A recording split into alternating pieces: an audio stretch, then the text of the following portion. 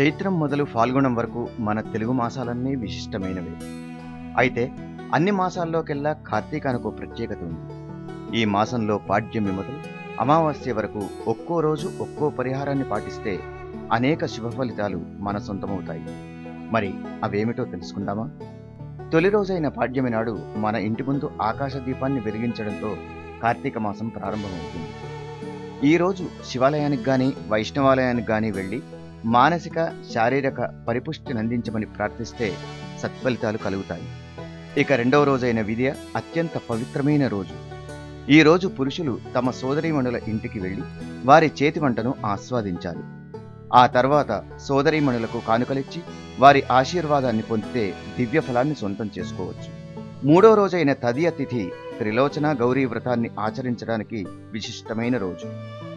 ఈ వ్రతాన్ని ఆచరించలేని వారు పార్వతీదేవికి కుంకుమార్చన గాని పూజ గాని నిర్వర్తించవచ్చు. నాలుగో రోజైన చవితిని ఆంధ్రప్రదేశ్ రాష్ట్రంలో నాగుల చవితిగా వ్యవహరిస్తారు. ఈ రోజున మురుగన్గా కూడా పిలువబడే సుబ్రహ్మణ్య స్వామిని కొలిస్తే శుభ ఫలితాలు పొందవచ్చు. ఐదో రోజైన పంచమి జ్ఞాన పంచమిగా ప్రాచుర్యంలో ఉంది. ఈ రోజున సుబ్రహ్మణ్య స్వామికి అర్చన చేయడం శుభప్రదం. ఆరో రోజైన షష్ఠి నాడు ప్రియమైన తినుబండారాలకు దూరంగా ఉండాలి. ఏడో రోజైన సప్తమి నాడు ఎర్రని వస్త్రంలో గోధుమలను ఉంచి దానం చేయాలి. ఎనిమిదవ రోజైన అష్టమిని గోపాల అష్టమి అనడం కూడా వాడుకలో ఉంది. ఈ రోజు భక్తి శ్రద్ధలతో గోవును పూజించాలి. ఇక నవమి నాడు మూడు రోజులు ఆచరించాల్సిన అత్యంత పవిత్రమైన త్రిరాత్ర వ్రతాన్ని ప్రారంభించాలి. ఈనాటి సాయంత్రం రాత్రి శ్రీమన్ మహావిష్ణువును పూజిస్తే విశిష్టమైన ఫలితాలను పొందవచ్చు. దశమి రోజున శుభ ఫలితాలను పొందేందుకు విష్ణువును పూజించాలి. పదకొండవ రోజైన ఏకాదశి నాడు ఉపవాసాన్ని ఆచరించి ద్వాదశి నాడు విరమించాలి. క్షీరాబ్ది ద్వాదశిగా పిలువబడే పన్నెండవ రోజున మహావిష్ణువు యోగ నిద్ర నుండి మేల్కొంటాడని ప్రతీతి. ఈ రోజున విష్ణువును పూజించాలి. ఉసిరి లేదా తులసి చెట్టు వద్ద పూజించడం శుభప్రదం. ఇక త్రయోదశి నాడు రాత్రి భోజనాన్ని మానేయడం మంచిది.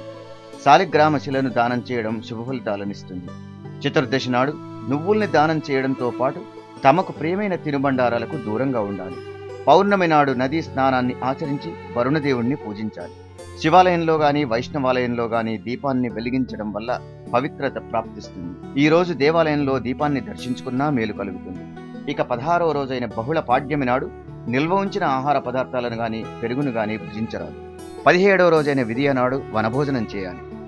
ఉసిరి చెట్టు కింద విష్ణువును ప్రార్థించి భోజనం చేయడం వల్ల బంధువులకు స్నేహితులకు శుభ ఫలితాలు కలుగుతాయి. పద్దెనిమిదవ రోజైన తదియ నాడు బ్రాహ్మణులకు తులసిమాలను దానమివ్వడం ఎంతో మంచిది ఇక పంతొమ్మిదవ రోజైన చవితి నాడు బొజ్జగణపయ్యను ఆయనకు ప్రీతిపాత్రమైన గరికతో పూజించాలి.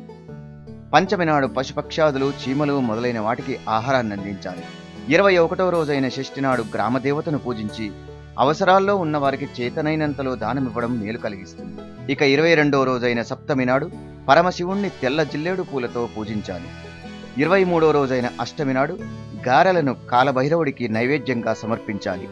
ఇరవై నాలుగో రోజైన నవమి నాడు నీరు ఎర్రని చీర జాకెట్ వస్త్రం గాజులు మొదలైన వాటిని దానమివ్వడం మంచిది.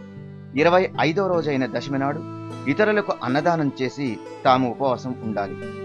ఇరవై ఆరో రోజైన ఏకాదశి నాడు దీపారాధన చేసి పురాణాలను వింటే అనేక శుభ ఫలితాలు కలుగుతాయి. ఇరవై ఏడవ రోజైన ద్వాదశి నాడు అన్నార్తులకు అన్నదానం చేయడం శుభప్రదం. ఇరవై ఎనిమిదవ రోజైన త్రయోదశి నాడు నవగ్రహాలను పూజించి పరిహారార్థం ఉపవాసాన్ని పాటించాలి. ఇరవై తొమ్మిదవ రోజైన చతుర్దశిని మాస శివరాత్రిగా కూడా వ్యవహరిస్తారు. ఈ రోజంతా ఉపవాసాన్ని పాటించడం మంచిది. చివరి రోజైన అమావాస్య నాడు పితృదేవతల పూజార్థం అన్నదానం చేసి ఉపవాసాన్ని పాటించాలి. ఇది ఆకాశ దీపానికి చివరి రోజు. దేవాలయంలో దీపారాధన చేసి కొబ్బరికాయ కొట్టాలి.